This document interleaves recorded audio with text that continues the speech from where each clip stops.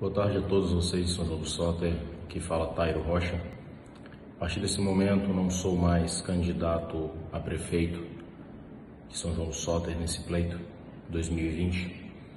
Lutamos a boa luta, fizemos caminhadas boas, enriquecedoras, fizemos muitos amigos, plantamos sementes do bem em vários e vários corações.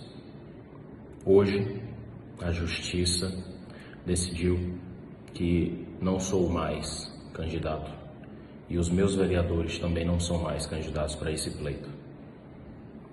É com muita tristeza, muito aperto no peito que eu te trago essa mensagem. Mas como assim prometido, assim que tivéssemos a decisão final da justiça, eu viria a público. Já estive na rádio há poucos minutos com meu pai e agora venho por forma de vídeo, falar para vocês sobre esse acontecido. Fica aí agora outros dois candidatos.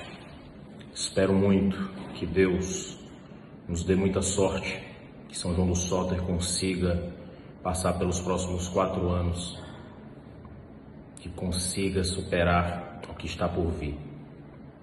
Deus sabe todas as coisas. Minha vida eu tenho pautado e colocado Ele na frente, Ele adiante.